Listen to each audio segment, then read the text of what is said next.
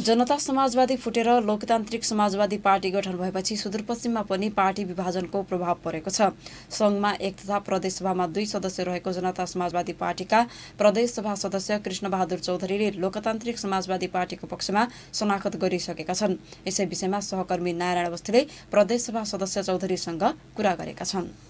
सुदूरपश्चिममा तपाईँले एकजना मात्रै भन्नुभयो तपाईँ गलत भन्नुभयो। सुदूरपश्चिममा एकजना होइन हाम्रो सङ्घीय माननीय ज्यू दुईजना हुनुहुन्छ हाम्रो लोसपामा। कार्यकारी भन्नुहुन्छ भने चारजना छन् हाम्रो कार्यकारी समितिमा लोसपामा यो सुदूरपश्चिमबाट। जो चाहिँ माननीय रेशम चौधरी सांसद सङ्घीय सांसद भइहाल्नुभयो र एकजना उपेन्द्र यादवको के अरे दान बहादुर विश्वकर्माको श्रीमती खल्लु बिका हुनुहुन्छ नि सांसद। त्यति बेला चाहिँ उहाँ हाम्रो माननीय उपेन्द्र यादवजीको पार्टीबाट हो तर अहिले उहाँ लोकतान्त्रिक समाजवादी पार्टीमा अर्थात् हाम्रो पार्टीमा आउनुभयो। त्यस कारणले दुईजना सङ्घीय सांसदहरू हुनुहुन्छ अहिले लोकसभामा र प्रदेश सांसदमा हामी दुईजना थियौँ। दुईजनामा मालामती उतातिर जानुभयो के अरे म चाहिँ लोसपा लोसपामा जानुको कारण चौहत्तर सालको मङ्सिरको चुनावमा भाग लिँदाखेरि त्यति बेला हाम्रो पार्टी राजपा थियो र राजपाको चुनाव चिन्ह छाटा थियो।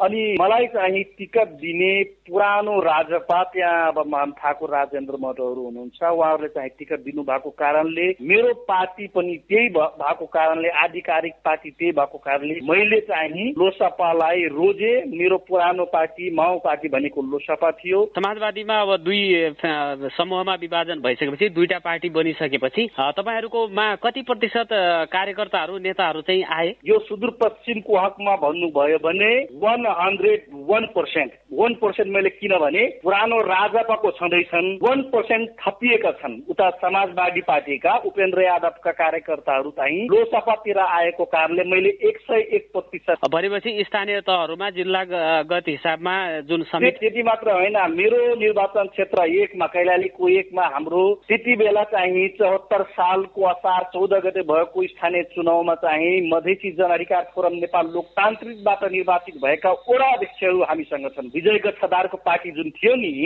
हो त्यो पार्टीबाट निर्वाचित भएका वडा अध्यक्षहरू वडा सदस्यहरू अहिले लोकतान्त्रिक समाजवादी पार्टीमा अहिले आबद्ध भएका छन् जोडिएको छन्। त्यस कारणले मैले एक सय एक पर्सेन्ट चाहिँ भनेको संगठनात्मक हिसाबले लोकसभा अगाडि छ समाजवादी भन्दा अरे त्यो संगठनको त कुरै नगर्नु। हाम्रो अलरेडी संगठन पुरानो संगठन छँदैछ त। थप त्यो छाट उनीहरूलाई अब काहीँ काहीँ अलिकति होला त्यो छाटकाट गरेर चाहिँ हामी त्योभन्दा बढी सदस्यता चाहिँ कमिटी हाम्रो बन्दैछ भाइ। अनि प्रदेश सभाको अर्को सांसद जुन मालामती राणा हुनुहुन्छ उहाँ र तपाईँ एकै ठाउँमा चाहिँ रहन किन नसक्नु भएको उहाँको कुरा उहाँले भन्ने कुरा हो। मैले चाहिँ मेरो माओ पार्टी त्यति बेलाको राजापा थियो। जसको अध्यक्ष चाहिँ एसएनएस स्मार्ट ग्यारेन्टीको साथ।